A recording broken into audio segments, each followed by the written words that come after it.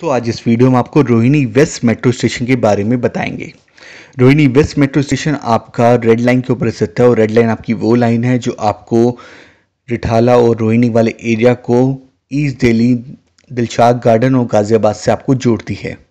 Rohini west metro station के दो platform हैं। प्लेटफॉर्म नंबर टू से आपको मेट्रो मिलेगी जो आपकी दिलशाद गार्डन की तरफ़ जाती है और प्लेटफॉर्म नंबर वन से आपको मेट्रो मिलेगी जो आपकी रिठाला की तरफ़ जाती है। अब हम बात करेंगे एटीएम फैसिलिटी के बारे में। रोहिणी वेस्ट मेट्रो स्टेशन पे एटीएम फैसिलिटी अवेलेबल है।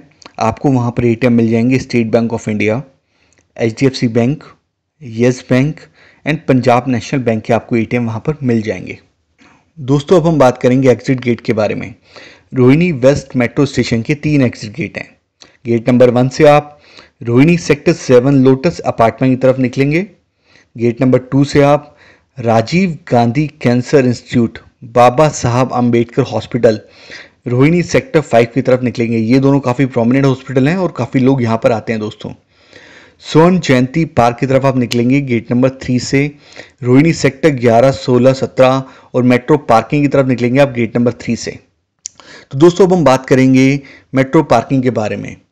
रोहिणी वेस्ट मेट्रो स्टेशन पे पार्किंग अवेलेबल है। आप अपनी कार और बाइक यहाँ पर पार्क कर सकते हैं। चार्जेस आपके स्टैंडर्ड चार्जेस हैं, जो आपके मेट्रो के पार्किंग के चार्जेस हैं, वो आपके लगेंगे यहाँ पर। दोस्तों, अगर आप राजीव चौक से रोहिणी वेस्ट की तरफ़ आ रहे हैं तो आपको राजीव चौक से मेट्रो पकड़नी पड़ेगी और कश्मीरी गेट पे इंटरचेंज करनी पड़ेगी।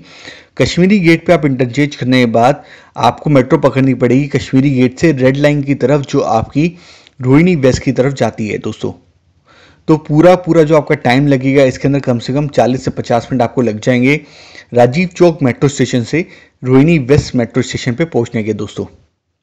दोस्तों, अगर आपको ये हमारी वीडियो पसंद आई हो तो हमारे चैनल को प्लीज़ सब्सक्राइब कीजिए। धन्यवाद।